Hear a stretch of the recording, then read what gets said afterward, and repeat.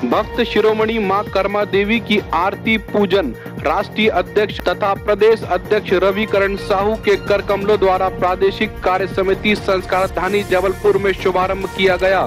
प्रादेशिक कार्य समिति का बैठक का मुख्य उद्देश्य सदन के समक्ष प्रगति, प्रतिवेदन, संपूर्ण भारत के पदाधिकारियों के द्वारा प्रगति प्रतिवेदन प्रस्तुत किया गया तथा भारत के अंतिम पंक्ति में खड़े हुए गरीब वर्ग के साहू समाज के व्यक्ति को आर्थिक रूप से मज़बूत बनाने के उद्देश्य को लेकर इस बैठक का आयोजन किया गया, जिसमें तेलंगाना, मध्य प्रदेश, उत्तर प्रदेश, महाराष्ट्र, आंध्र प्रदेश, छत्तीसगढ़, विभिन्न प्रांतों से साहू समाज के पदाधिकारियों की इस बैठक में सम्मिलित हुए।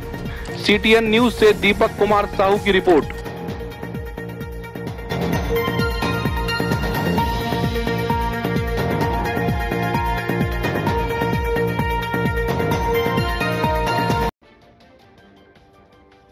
आज ये जो मीटिंग रखी गई है, ये राष्ट्रीय कार्यकारिणी की बैठक थी, राष्ट्रीय तहलीक साहू समाज महासंगठन के बैनर के तले।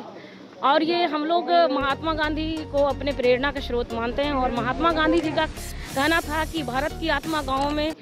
निवास करती है। तो हम लोग शहर से लेकर गाँव की तरफ़ चले हैं और जब हम लोग गाँव से लेकर प्रदेश तक हम लोग संगठन जब बना लेंगे और जन जन तक ये संदेश दे देंगे कि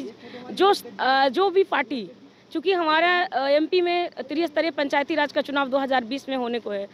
तो जो पार्टी हमारे समाज को अधिक से अधिक राजनीतिक भागीदारी त्रिस्तरीय पंचायती राज चुनाव में अभी देगी, हम लोग उसका ही सबसे ज़्यादा समर्थन करेंगे। और आगे ये ये संगठन पूरे प्रदेश विभिन्न प्रदेशों में कैसे किया जाए और इसको मजबूती मजबूती कैसे प्रदान यहाँ जबलपुर में राष्ट्रीय कार्य समिति की बैठक और कुछ आगे होने वाले अधिवेशन के बारे में कुछ चर्चाओं, चर्चा के लिए आज ये बैठक रखी गई है। और संगठन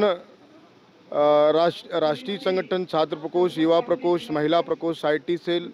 किस प्रकार से मध्य प्रदेश के साथ साथ पूरे भारत में हर एक प्रदेशों में गाँव से गाँव से लेके,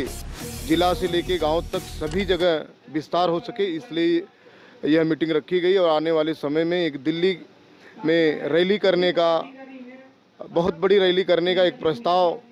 समक्ष रखा गया। उस पर विचार विचार के साथ आगे डिसाइड किया जाएगा कि कब दिल्ली में यह रैली की जा सकती है। सिटी इन लाइव हमेशा समाचार के साथ।